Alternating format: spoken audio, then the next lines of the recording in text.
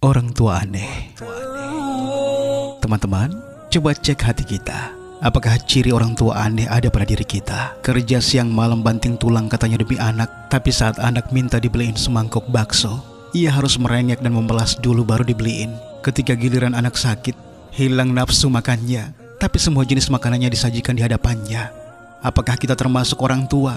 Mengajari anak hidup hemat tapi belanja online-nya setiap minggu dianterin kurir. Punya tas beli tas, punya baju beli baju, punya sepatu beli sepatu dan seterusnya. Apakah kita termasuk orang tua memaksa anak-anak menutup aurat, tapi pakaiannya sendiri seksi dan tak beraturan? Anak-anak dipaksa ngaji tapi kita nggak pernah sentuh Al-Quran. Anak-anak dilarang pegang gadget tapi tangan kita tidak pernah lepas dari handphone. Semoga kita tidak termasuk dalam ciri-ciri orang tua aneh di masa kini. Karena orang-orang tua aneh punya potensi besar mencipta generasi yang aneh pula. Na'udzubillah.